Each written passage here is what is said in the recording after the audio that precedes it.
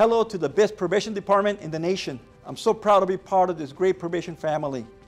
You have persevered through the challenging time and the challenging year that we faced during the national and global pandemic, COVID-19. When faced with the national pandemic, each and every one of you showed up, you pivoted, you adjusted, and you overcame the challenges. You have also helped our department when they needed you the most. You have assisted one another, covered other units, and been there to support our clients.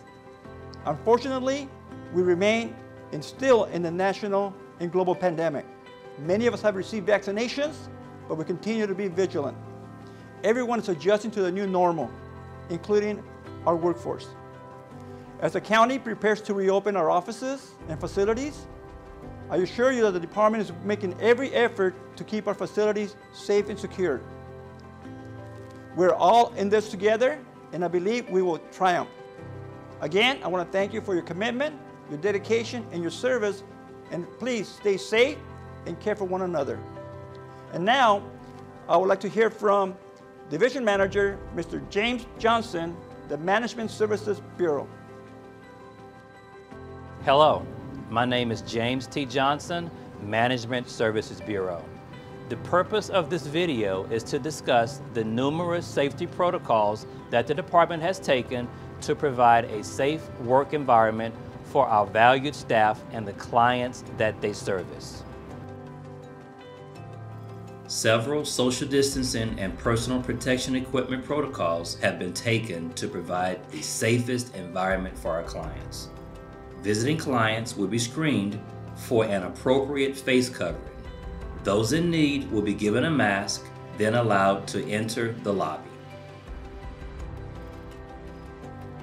Social distancing floor signage has been placed on the floor and seating has been arranged in such a manner that will allow clients to maintain social distancing guidelines while they wait to be seen by the receptionist.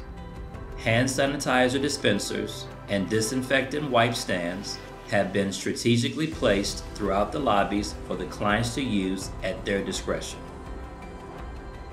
Under the direction of the Department of Public Health, clients will not be able to access water fountains.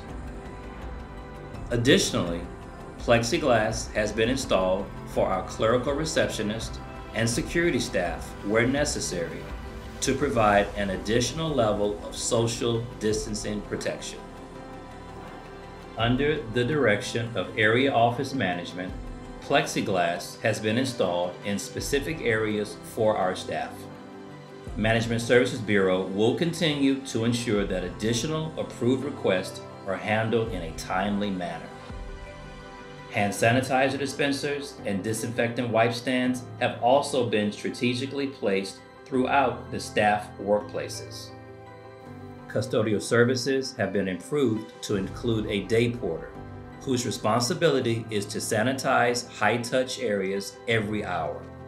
Some examples of high-touch areas are light switches, doorknobs, refrigerator, and microwave handles. Additionally, as a safety enhancement, self-cleaning stations have been installed in staff-specific areas to be utilized at their discretion.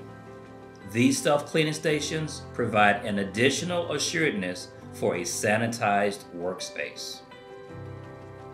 So there you have it. From hand sanitizer to plexiglass installations, I am pleased to have been given the opportunity to detail the various area office safety protocols to maintain health standards for staff and clients alike.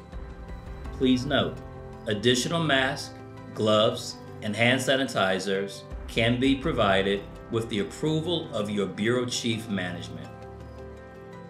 Finally, I'd like to thank Executive Management for their overall support and risk management who was consulted on the social distancing protocols that were discussed today.